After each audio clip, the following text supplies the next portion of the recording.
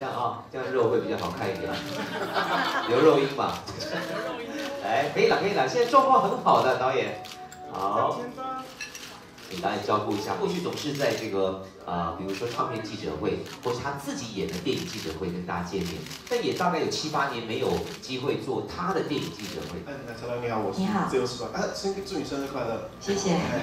那想问一下，呃，你刚刚有提到说你从一开始还没有准备好。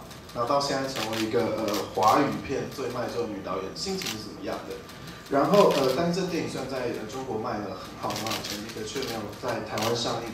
那你毕竟在台湾出生，你会不会有点呃什么样特别的感觉之类的？谢谢。好，谢谢。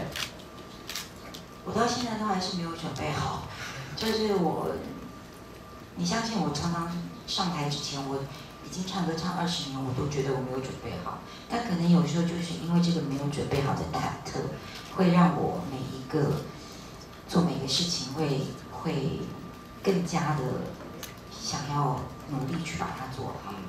所以我没有觉得什么要准备好，什么不好，就是但是尽力的去完成了。一件事情，嗯，其实应该说时刻准备着，那你时刻都警觉着，对啊，就如果没有准备好，那我就专注一点，把事情做到尽力。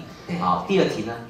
第二题就是，呃，其实我尊重所有的法规，因为我觉得那那都有它的原因在，那也不是我能够一个，但起码我觉得我们在 Netflix 上面会让我在心情上是很好的，因为他起码他提供了一个最好的方式，就是。